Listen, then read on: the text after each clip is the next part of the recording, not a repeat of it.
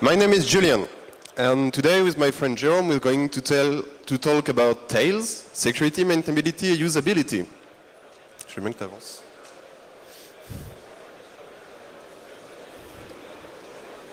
Encore un coup. So um, we are both French speaker, and we are going to try to do this talk in English because some friends of ours are in the room and they don't speak French at all. So bear with us. Um, as I, my name is Julian. I'm working on Radare 2. I'm working for a small company called NBS System, and you can find my website right there. Hello, so I'm Jerome. I'm working on uh, IDW Cleaner, a small security tool. I'm also a student, and uh, my blog is uh, freetools.org. So uh, both of us, we are part of Nos oignons, which is a small association uh, which is operating some exit nodes for uh, Tor. So we are about uh, two or three percent of the total Tor exit capacity. Tails, uh, what is it?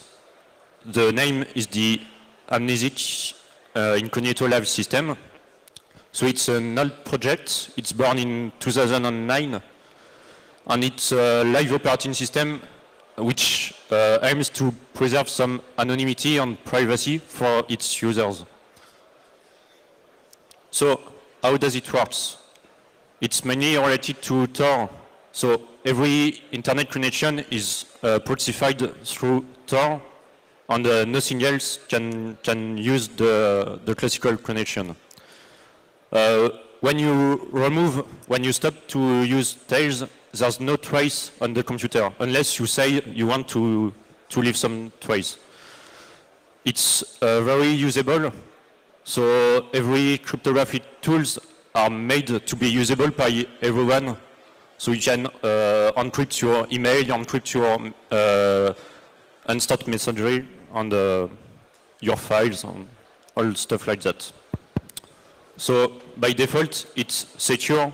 All the default options all the default settings are, are secure by default, and they are very usable. So now the real question is, yeah, that's great, but does it work? Yeah, the NSA say that it adds several computer network exploitation misery to the equation.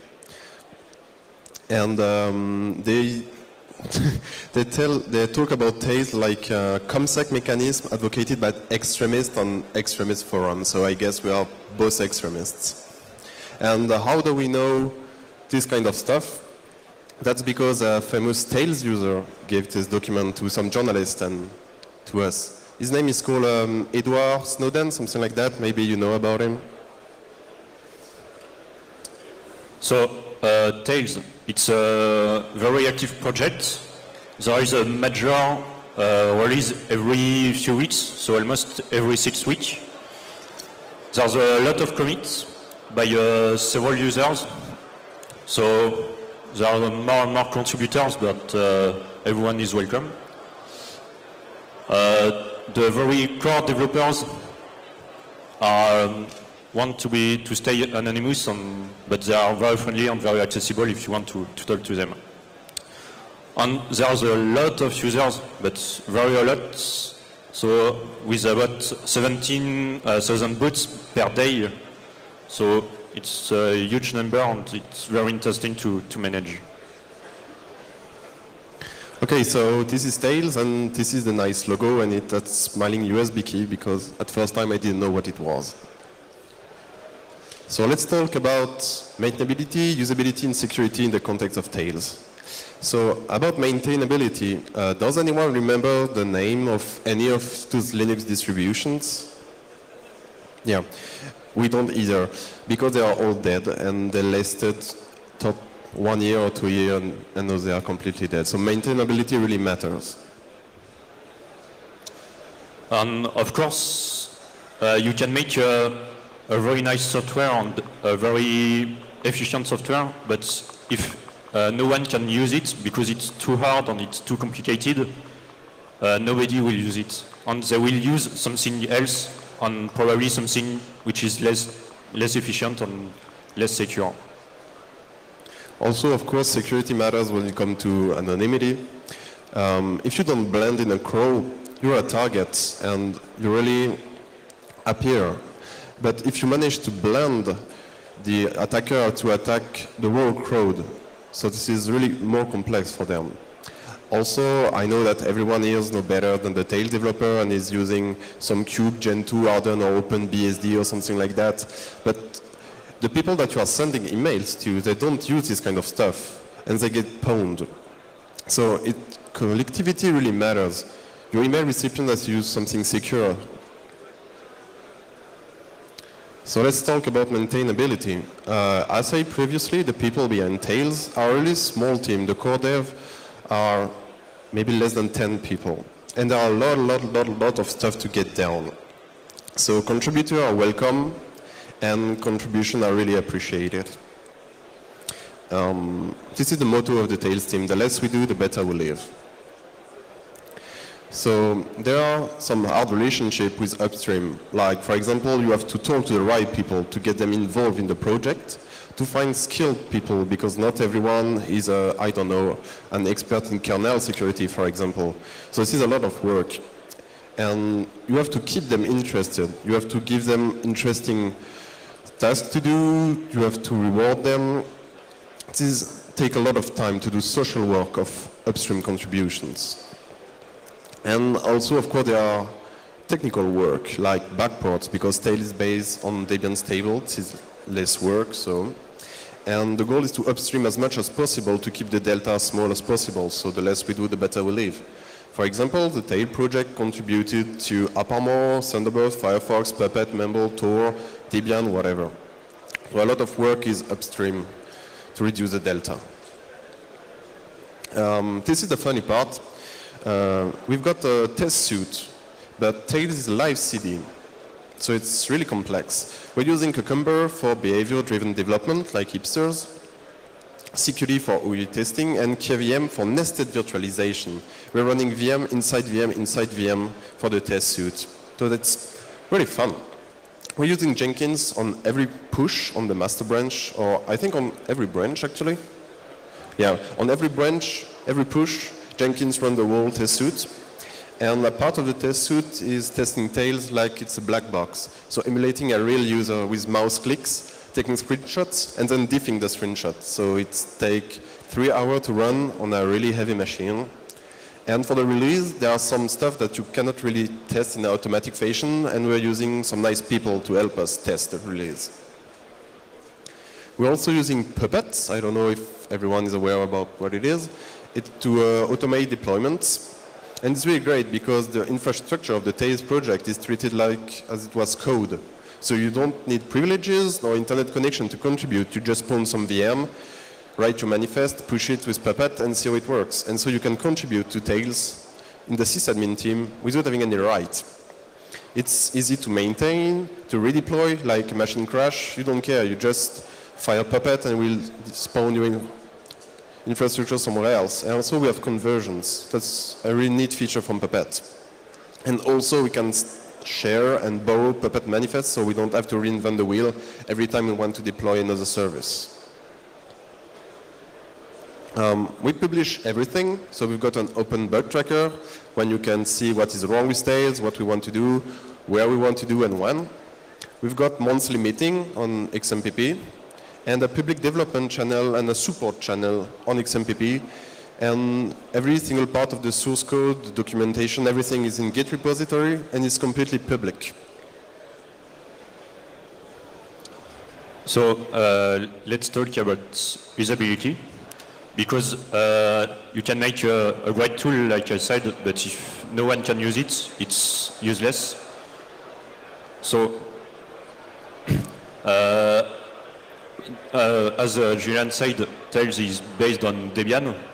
So we used every trans translation string from Debian. So the translation level is uh, quite the same as Debian. We also push a lot of work upstream. Um, yeah, so we have a huge documentation and everything is translated in a lot of language. So here are a few, a few of them. And for that, we use uh. So uh, everything is in a Git repository, and everyone can uh, use the file, translate with Poedit, uh, compile everything, check if the documentation is, is correct, make the fix if, uh, if needed, and then uh, push up.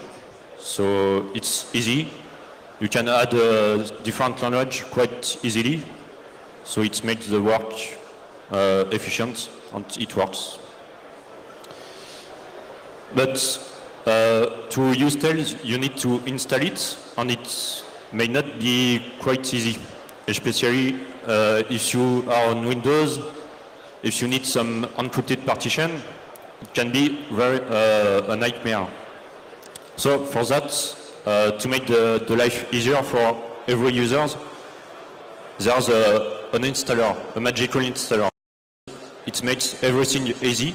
And as you can see, it's a, a simple GUI. Uh, you have three buttons. You can choose uh, which option uh, is better for you. So you can use uh, already existing uh, Tails USB key. You copy it, and you can have a, a second one. You can upgrade it. You can, but everything is easy. You just have to click on a button, plug your key, and it's done.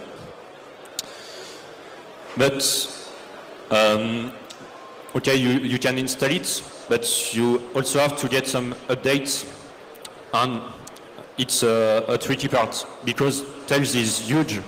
At the beginning, it was um it was uh, the size of a CD, so it was uh, you you can install it on a on a CD and play it, but now it's almost one gigabyte, so it's too too too heavy for for a CD. So you can you can't also download it each time because one gigabyte is very very important and not everyone has a fiber powered internet connection. So a solution is to make incremental upgrades. Uh, it's also a tricky part because to make it quite secure, it's difficult. So for that, we use TUF, the upgrade framework, which is really well specified and it explains almost everything you have to take care of so to, to make your upgrade secure. We also use uh, Thandy, which is used for the, the Tor browser's upgrades. So we, we use the, the same stuff that the, the Tor project does. And all of that brings an interesting uh, threat model and challenge because you have to take care of uh, a lot of stuff like METM or things like that. And you, it's really a, a, critical part because if you share to your users some um, some pulled updates, it won't work, and it's yeah. So it's difficult to to to share your users some upgrades. So it's really well specified, really well documented, and it works. And on the, the same topic, uh, cryptography is hard. If you try to explain how to use GPG to some non-technical uh, people, uh, you can try, it's hard, and it's fun to, to look at them uh, trying to use GPG. So to, to fit that, we developed an OpenGPG applet, which is a really simple software to use GPG uh, very easily. So like, this, like the, for the installer before, you have to click on several buttons and it's quite easy and it works also. So everyone can use it, even if you don't know how GPG works, it works. And uh, cryptography is also made to verify each update you made. So when you when Tails auto updates itself, it checks uh, if the downloaded uh, files are correct, are signed, and are the, the files you expect to install and to apply to make the, the updates.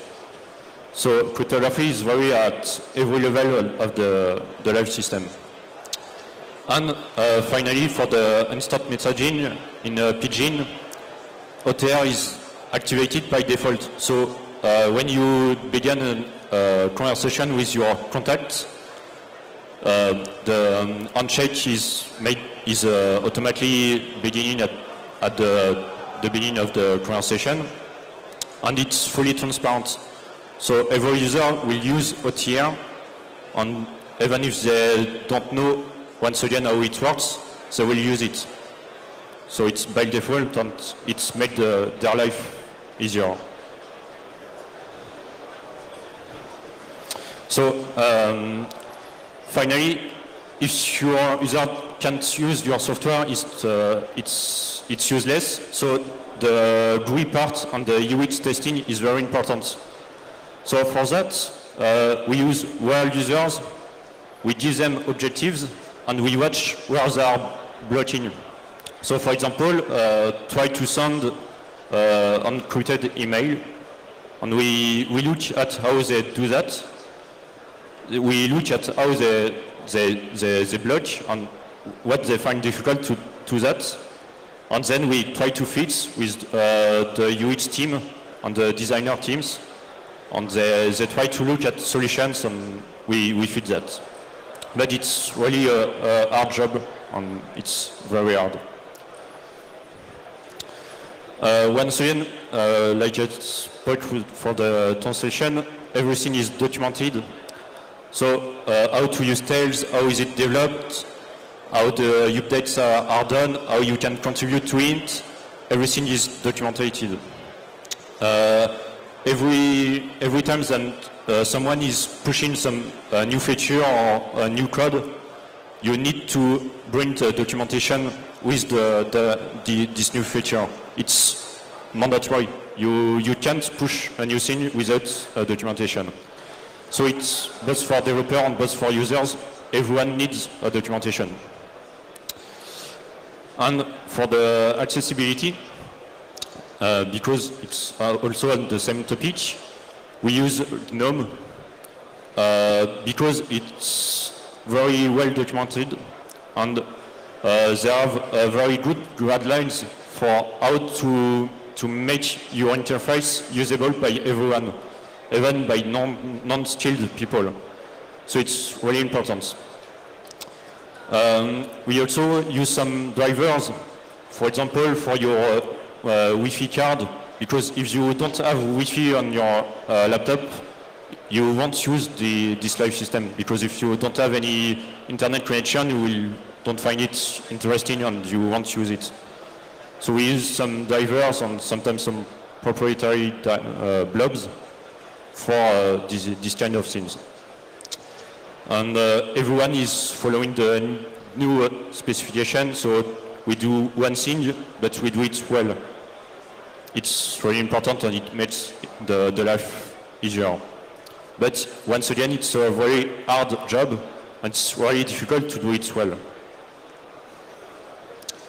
Um, for the persistence, so when you use Tails, you can uh, choose whether or not to to save some files on the USB key or on the SD card.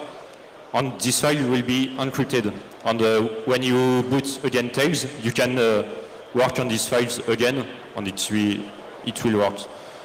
Um, so to do that, we use LUKS. We loot uh, DMCrypt, H4, um, so every classical tools.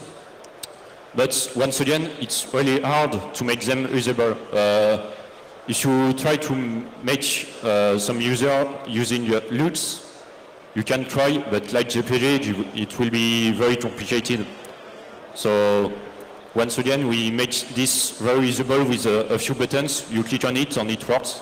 So, well, for example, here uh, you have the Tails Greeter. And uh, in the same philosophy, you have a, a few buttons to to, to fix and to adapt the, the settings you want. And um, so it's really usable. But uh, even if we do as much as we can to make all of that usable, we have a lot of users and a lot of different users. So to make the feedbacks easier, we have WhisperBack, which is a, a small applet to report some bugs, and it's very easy. So you report a bug, it sends an email, and you can be contacted back and uh, trying to fix that. We also have uh, people who are always responding for emails. The, if you have, uh, if you are stuck in Tails, you can send an email and someone will answer back to, to help you. You have also uh, the mailing lists, uh, IRC, XMPP, and uh, everyone, every time you will find someone to, to help you in one of those uh, channels. And we have a, a lot of users, like we saw with the figure at the beginning, but these users are not um, are really different. So it's really hard to make a, a good support for them. For example, we we have users that are gamers, so they ask some stuff like that. Okay, why not? But we have also users that know better than everyone. Okay. We have also in the same kind of stuff. Well, and we have users that want to play shitty videos. Well, no. And uh, well, fancy things. Why not? And also, of course, uh, some Android users. So some users that can be creative. And yeah, of course, password as a service. So uh, it's very difficult to have a, a, good support because we, we, our audience is uh, very large. So we don't speak to people who are already skilled and who already know how to do things. We speak about people who maybe don't know how to encrypt their emails or stuff like that. And we, they, they need to, to be able to use some tools which will allow them to, to, to communicate uh, securely. So it's very hard, but we have a lot of people who are doing the support and they are doing quite well. Also, um, of course, in a lot of different Wi-Fi, you have to, to log in on a, on a captive portals, for example, and it's very blockable because you can't use Tor directly. When you launch uh, Tails, you can't connect to the internet before Tails is, uh, Tor is started. And when it started, you can uh, launch your web browsers on the browse uh, normally. But when you have a captive portal, you are blocked and you have to log into the captive portal. So we have a separate web browser which is dedicated to this kind of stuff. It's red and it's made to to uh, to be um, very warning and we, we want the users to know that it's not the, the software they need to use because uh, it's only for a specific use case and for everything else, they need to use the usable uh, web browsers, which is through Tor. Um, so like I said, for the Wi-Fi, we use binary blob. Uh, so there are uh, an amazing trolling source. Nearly every week someone is coming on the IRC and saying, uh, why are you using some binary blobs? But if you don't have Wi-Fi on your laptops, you won't use it. So if, once again, it's uh, the usable mantra. So it's a, a choice. Well. So um, this is the new NVIDIA, so let's talk a bit about security. And I have to pass the slide myself. Okay, so as say in the first slides, the attackers are global, powerful, and smart, like the NSA, for example. And Tails users are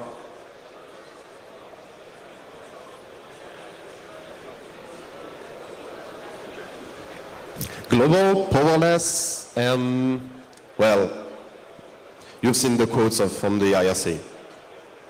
So um, about persistence, persistence has been seen as a security feature. For example, you can persist the pseudo-random number generation state to differentiate your entropy sources among Tails users.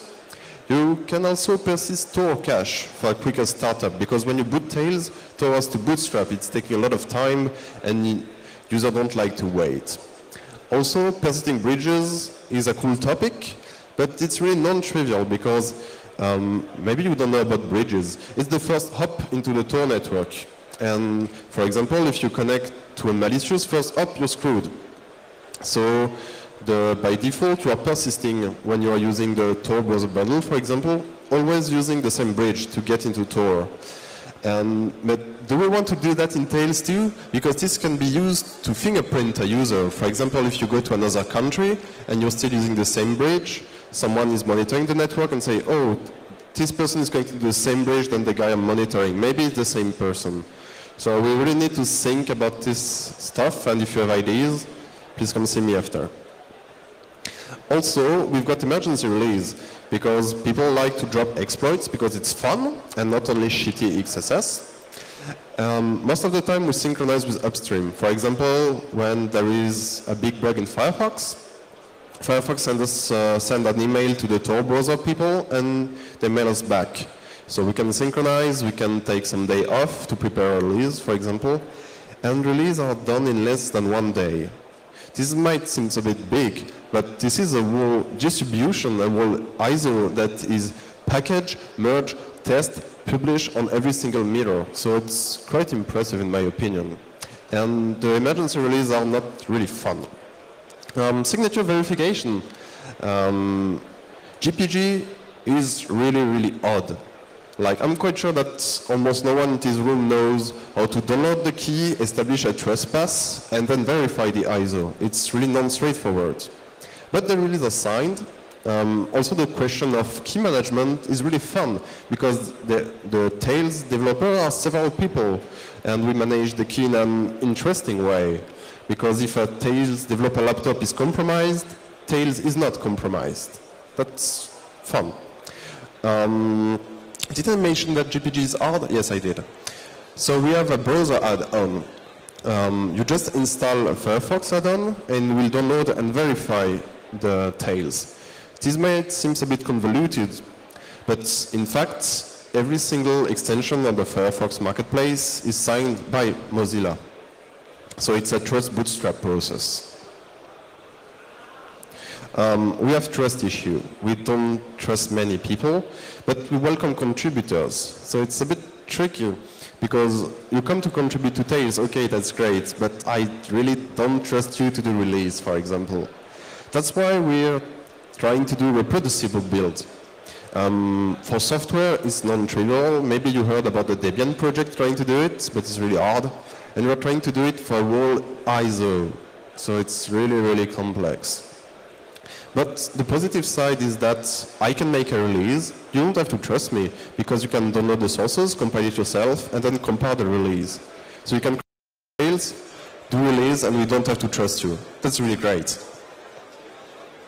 Um, security, App Maybe some of you know App Um, it's a sandboxing stuff. Um, no one knows how to, you, how to write SE Linux rule, maybe except Red Hat.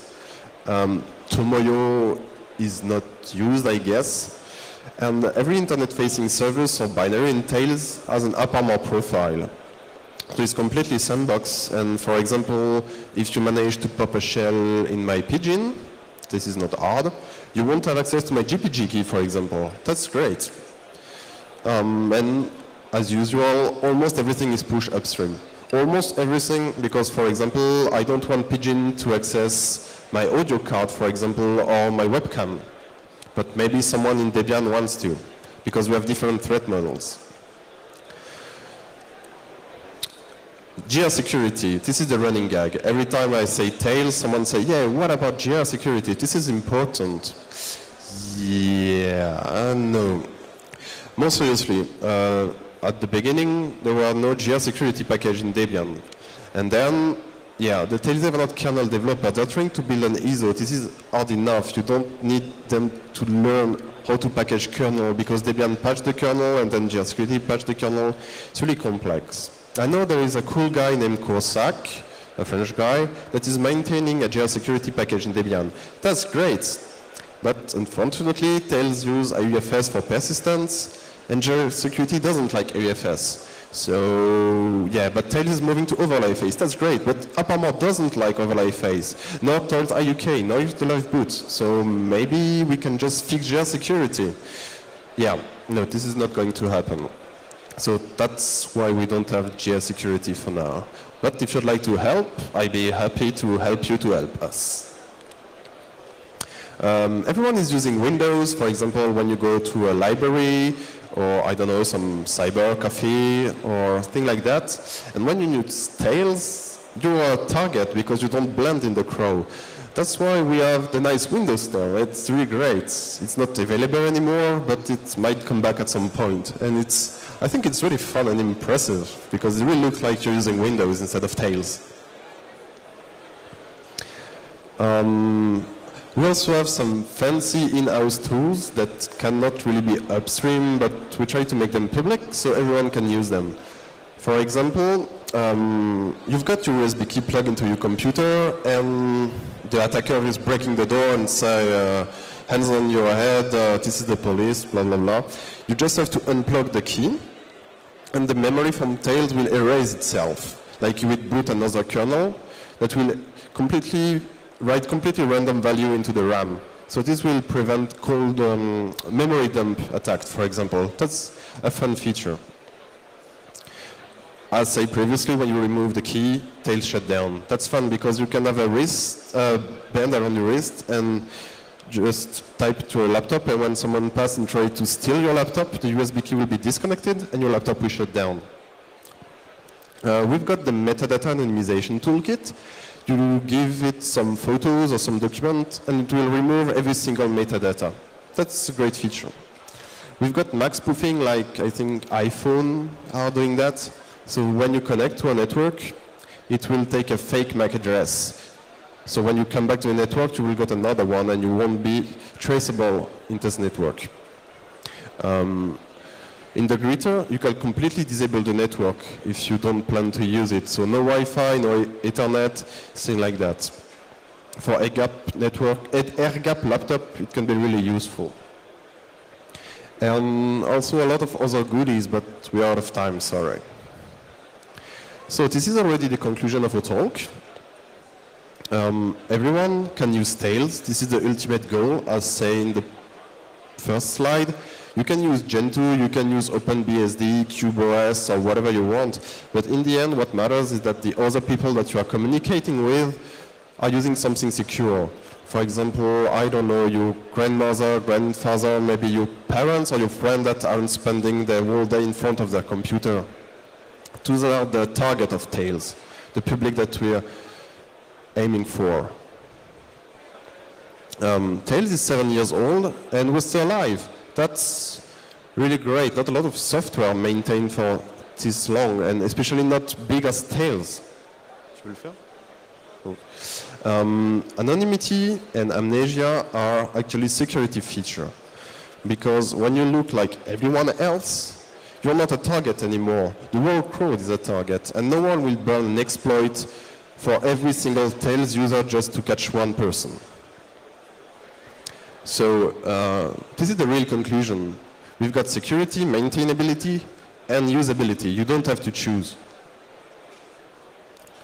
Thank you very much for bearing our completely broken English. And um, if you have some questions, we'll be happy to answer them, but please. Thank you very much.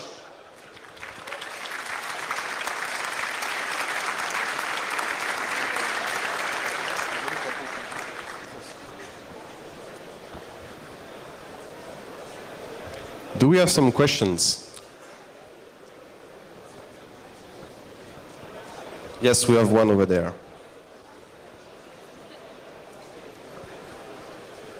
Um, in the beginning of the of your slides, you had a number.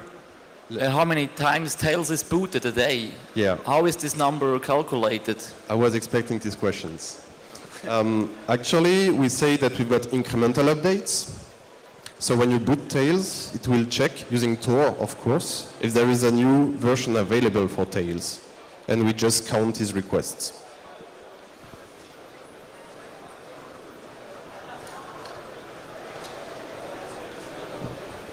That's great. There is no question, so I guess we said everything. Perfect. Thank you very much. Thank you, guys.